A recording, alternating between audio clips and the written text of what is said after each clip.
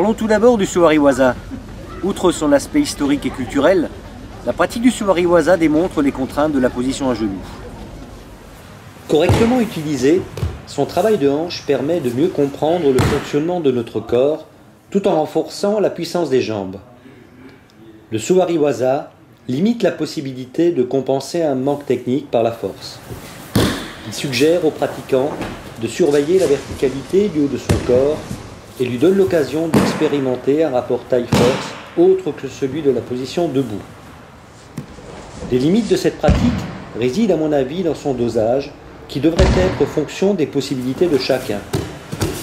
N'oublions pas que la pratique de l'aïkido n'a pas pour but de nous blesser, mais au contraire de nous renforcer.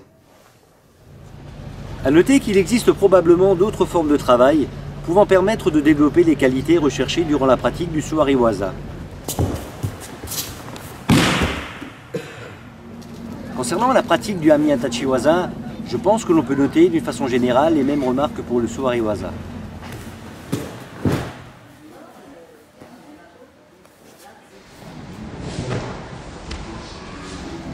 Cependant, il apparaît clairement que du fait qu'Uke soit debout, cette station impose à Tori des contraintes bien supérieures en termes de vision, de déplacement, de mise en déséquilibre, d'anticipation et de gestion des angles et des axes.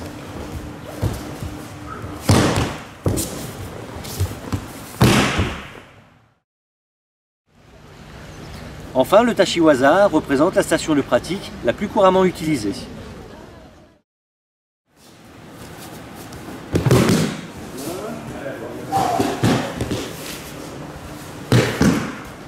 Les deux partenaires sont debout et peuvent expérimenter l'ensemble des combinaisons techniques possibles.